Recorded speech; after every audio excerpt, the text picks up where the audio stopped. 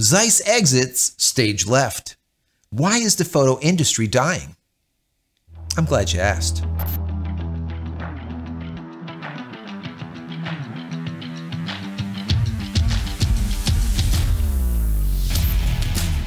Hey everybody, welcome back to the channel. Thank you so much once again joining me for tea time. Today we have a little bit of fireside.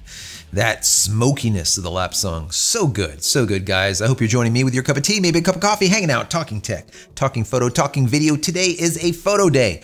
We're gonna be talking about Zeiss, but then also a more higher level of what is going on with the photographic community and the photographic industry as a whole this downturn that's been going on for quite some time. A lot of you out there would be like, oh, yeah, Joe, you know, it had to do with COVID and, you know, in 2019, it really just hurt them. No, the answer to that is no. This has been going on for many years. I want to get into it a little bit with you guys and give you my perspective as doing this for like 15 plus years, covering the industry, moving about from one side of the country to the other side, from PPE to Photo Plus Expo to all the different expos and covering the movers and shakers and interviewing the CEOs and COOs and CFOs and all of the rest of the engineers from all of these companies and give you my thoughts on it. So I was reading an article over on the Phoblographer, and I want to share some portions of it with you. And then once again, have a conversation. I want to know your thoughts on this because I think it's very important. So to start out with, if you don't know who Zeiss is, then you've probably been under a rock or you're brand new to the photographic industry.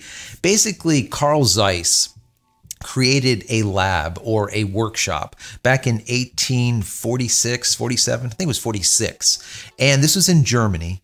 And this lab, he brought in all the practical as well as theoretical opticians, the lens crafters, the lens makers, all right, to redesign like every aspect of optical instrument production. And this is what he did. Remember, back then, all lenses were handcrafted, they were hand ground to amazing perfection. Remember, this is way back in the mid 1800s when he started this.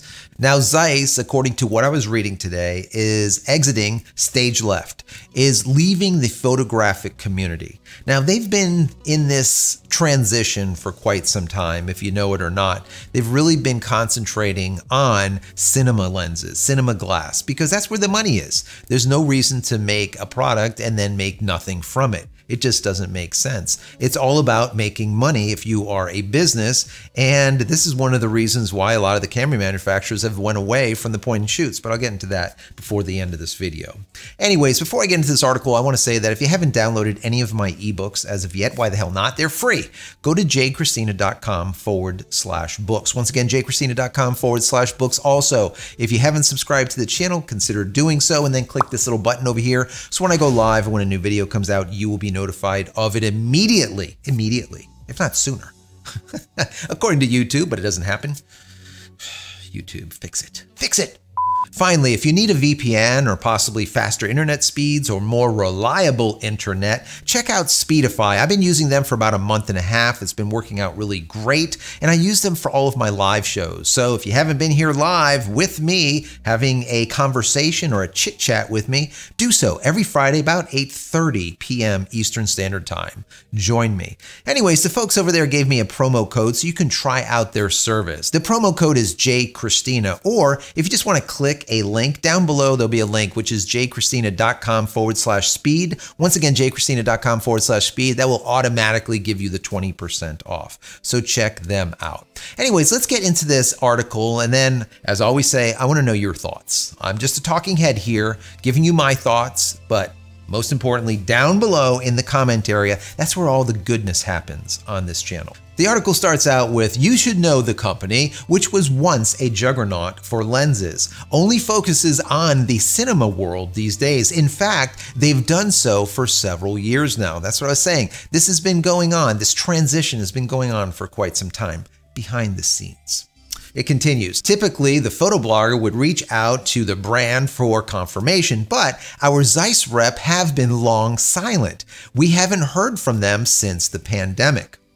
Zeiss has discontinued all of their lenses and filters in the photography world. That means the Zeiss Batis, the Milvus, as well as the Otus and the Loxia lenses are discontinued. The last time Zeiss announced anything worth discussing was in 2019 when they revealed the Ventum lenses for the Sony E-mount drones. In 2022, they announced the Kubrick's famous lens had returned home to the Zeiss Museum. However, no new products for purchase specifically for photographers have been advertised. For many years, everything was made in Germany until they started outsourcing the manufacture of their lenses to Japan. Candidly speaking, I don't think anyone should be surprised. Several years ago, our Zeiss rep told us that the brand would be exiting the photo industry slowly as they would make more money in the cinema world, not the photo world. This is why Zeiss has continued to create lenses for movie and cinema.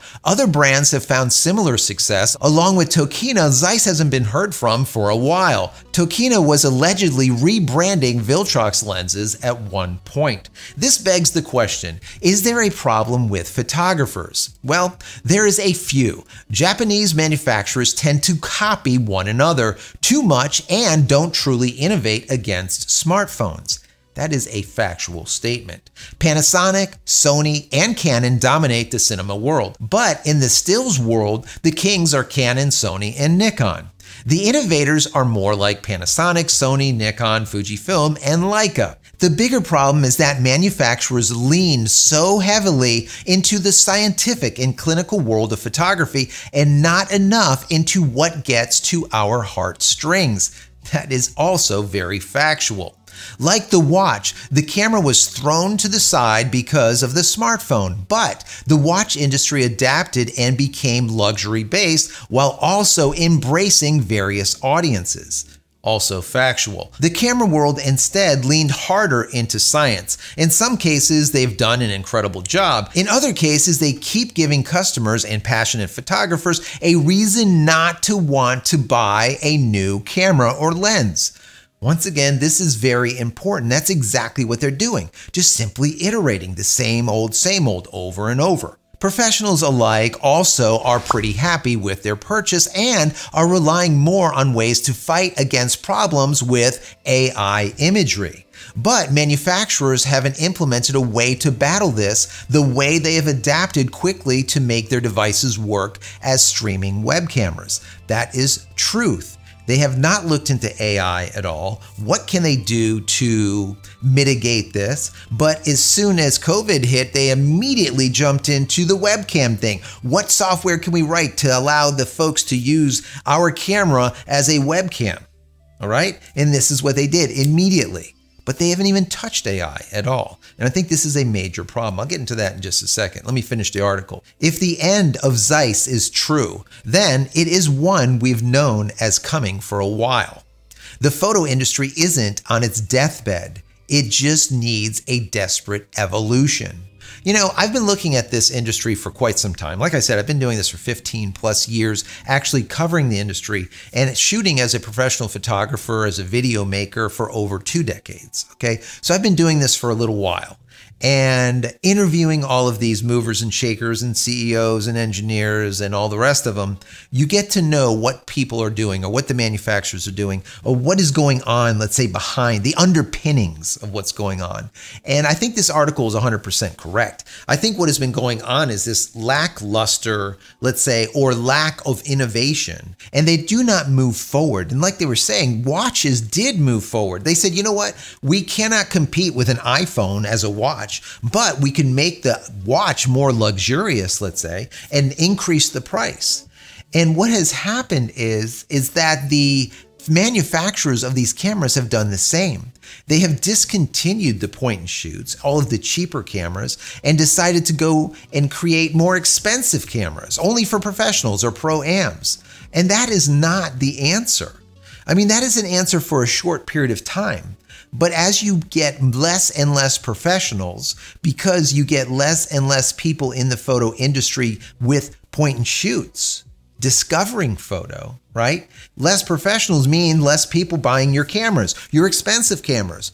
It's a problem. You have a 4,000, 5,000. Now we're seeing cameras that are like $6,000 for a body. That is ludicrousy. If we were to look at watches, for example, if you were to go to a high end event or a gala or something like that, right?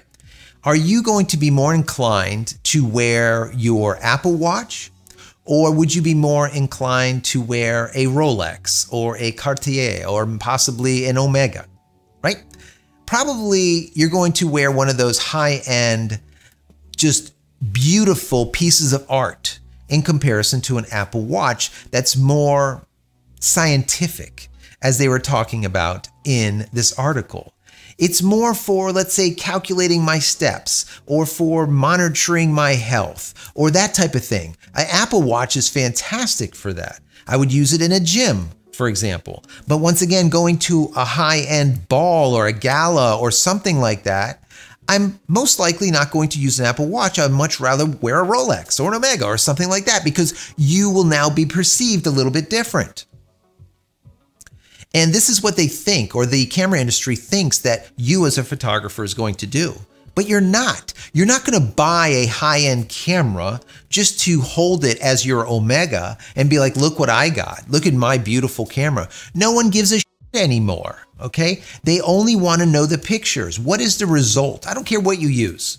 Okay. Use an old camera, use a new camera. I don't even care. Matter of fact, as we're talking about Zeiss and the old cameras in comparison to the new, this right here is what one of their first cameras looked like. This is a bellows camera. This is almost 100 years old. This is a Zeiss Icon camera. Matter of fact, if we push this button, we can actually pull out this bellows so you can see what it looks like. You see that, guys? All right.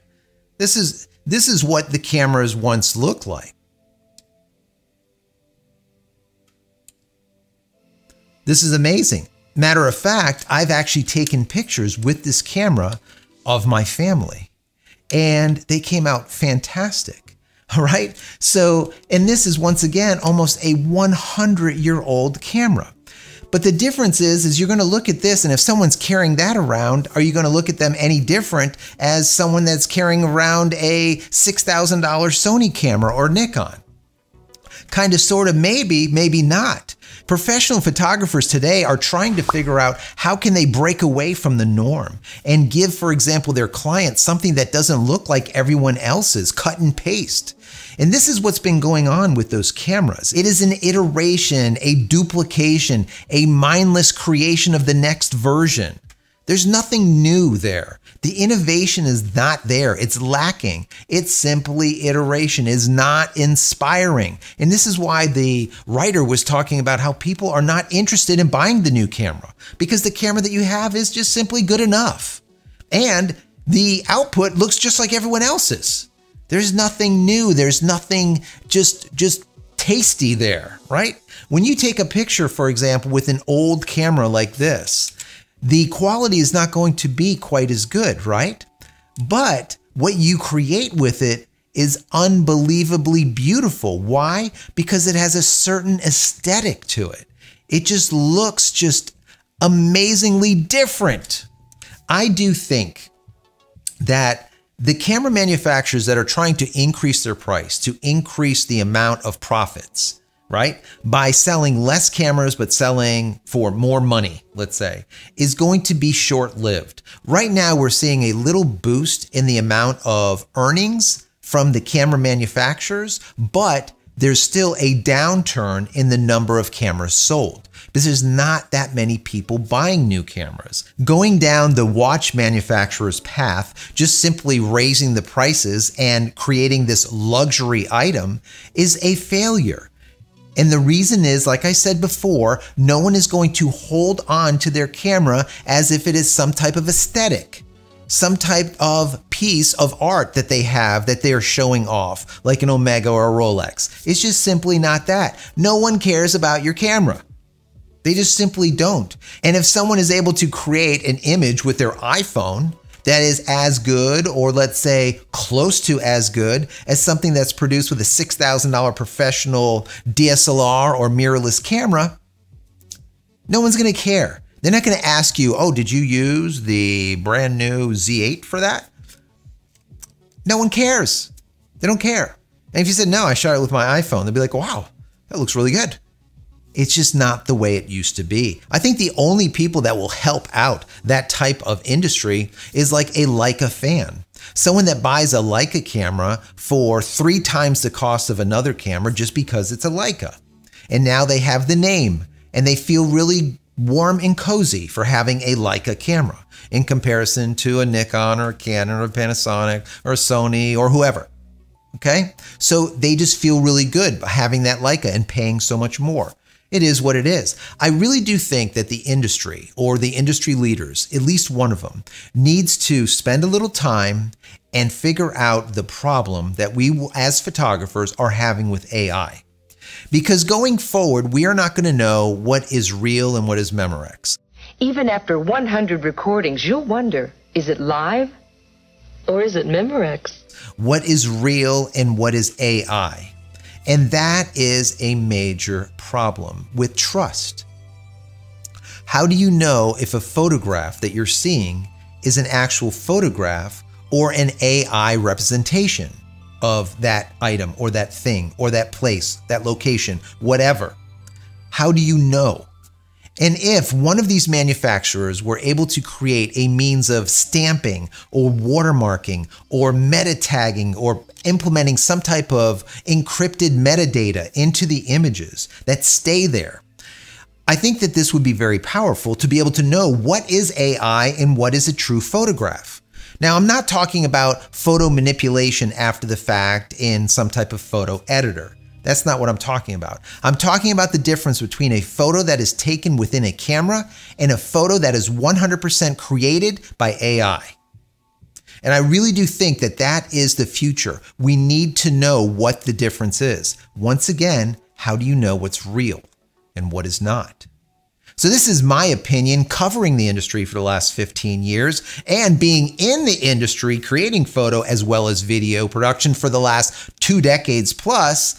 I want to know your thoughts. What do you think? What do you think is the problem that we're having with the photo industry as of right now? Do you think AI is going to be an issue?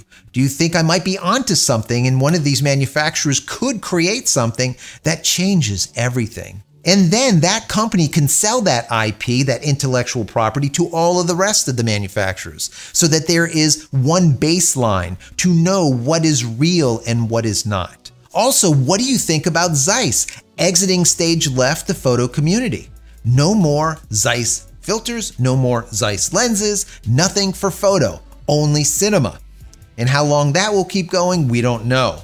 But they've been around for 177 years. I don't want to see them go belly up, but there's been so many companies that just simply can't do it anymore. And once again, the reason is because they just continue to iterate, iterate, iterate, and not innovate there needs to be, or there is a desperate need for evolution. They need to innovate. And this has just simply not been the case for many years now.